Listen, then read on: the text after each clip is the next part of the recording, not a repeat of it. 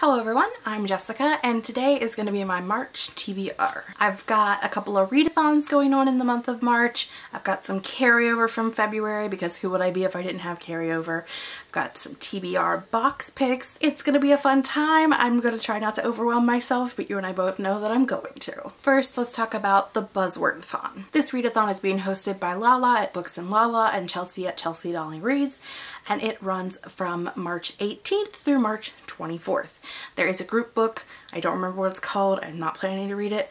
I will link at least one of their announcement videos in the description box below so that you can check that out if you're interested in looking further into that. This round of the Buzzwordathon actually has six words. Who, what, where, when, why, and how. So you can read as many books or as few books as you want and they basically just have to have that one of those words in the title. I went through all of my shelves. I have three books that have one of those six words in the title so I just went ahead and put all three of them on my TBR because why not? The first book that I have is What the Dead Want by Norah Olson. I honestly have no idea what this book is about. It was a cover buy and a title buy that I picked up at Barnes & Noble a few years ago. It's been a minute. Can't tell you about it because I don't know anything. Next is The Girl Who Drank the Moon by Kelly Barnhill.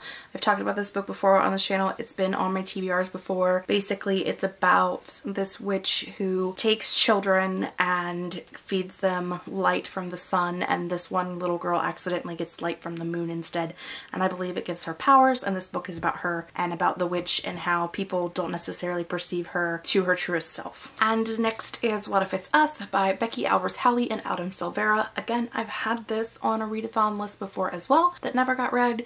This book is about two boys who have continuous meet cutes and they just kind of keep falling apart and though they like each other they're starting to wonder if maybe it's just not supposed to work between the two of them. So those were my three books for the Buzzwordathon. Now let's get into AuthorTube Appreciation Month. Not necessarily a readathon but kind of a readathon. So I'm hosting the AuthorTube Appreciation Month. I'll link the video in the description box below as well as in the cards. It is a readathon where if you know a published AuthorTuber and you want to support them, you read their book, you do a review, there are chances to win prizes, and just to make your AuthorTubers happy because you're helping them out by reading their books. To be quite honest, I don't know what most of these are about. Like I did at the time, but it's been a minute and so I've kind of forgotten but I will link to the Goodreads description for all five of these because I honestly can't remember what they're all about because I'm a horrible person and I'm not doing my job. First is I Am Mercy by Mandy Lynn. I vaguely remember that this one has something to do with a girl in history where her family believes she's cursed and she's kind of an outcast and there, I believe it's during the actual Black Plague. Like she can save them from the plague but it'll make them all not love her. Could be wrong about that, don't quote me on it, but I, I vaguely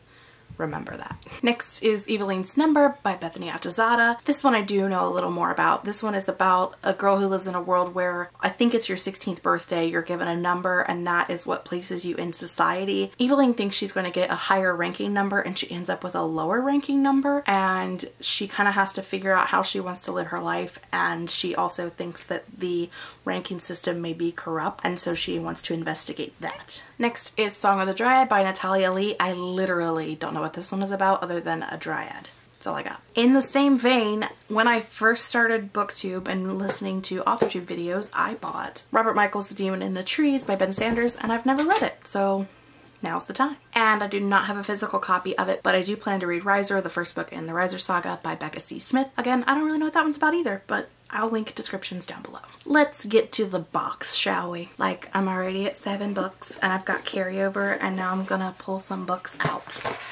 of the box. Let's do post 2018 first. Just one, please. I Am Mercy. Am I allowed to give that to myself? Like, I'm already reading it. It's already on the TBR. I think I'm gonna give it to myself. I think I am. Got a lot of books to read this month. I'm giving it to myself. Now for pre-2018. And that one is Avalon High. Not even kidding. Like I started this audiobook today. I DNF'd the audiobook that I was listening to and I was looking for something that was available and I picked Avalon High and I have no idea how I pulled this. Like that, the, the stars have aligned. I have no idea how this happened. Like Okay, anyway, that gives us Avalon High by Meg Cabot. I know a lot of people that have said like this was one of their favorite Meg Cabot books. I have only read one Meg Cabot book. Basically, I liked the movie and I know that the movie and the book are different, but I'm okay with that. Pretty excited to read it. I'm currently on page 46 already. Like I just pulled it out of the, I don't know. This is a weird day, guys. Well, thank you TBR Box for saving my life this month. And mainly that's because I have five carryover books. You already know these two are coming. Lord of Shadows, Queen of Air and Darkness. I've started Lord of Shadows, so that's a start. I've started it. I'm working on it. It's really, it's a really big book. And I have so many other books that I want to read that I like, I feel bad sitting down and reading 700 pages of this book, which doesn't make any sense because I read nine books last month. I could have easily have read this and like six other books and been the same amount of pages, but I just, I can't convince my brain of that. So as soon as I can get my brain thinking properly, I'll get into these. Uh, next is Breaking a Zelda by Tabitha Shipley. Talked about it a million times, not going to talk about it again. I will link in the description box below my TBR video for January because that was where I first talked about all of these. The Lies We Told by Camilla Way. Again, TBR video for January. And And I Darken by Kiersten White. This was actually one of my TBR box picks for last month that I didn't get to, so I'm going to get to it this month.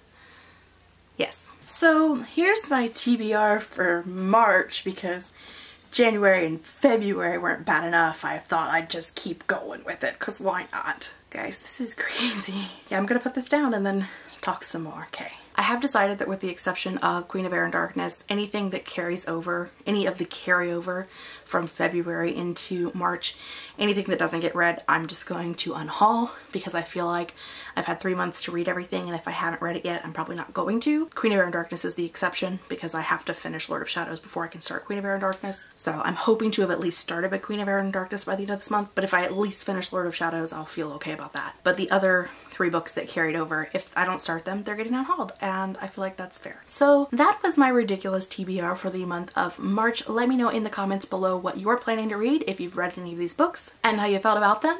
That is all I have for today. I post reading, writing, and book related videos twice a week. So until then, I will see you guys next time. Bye!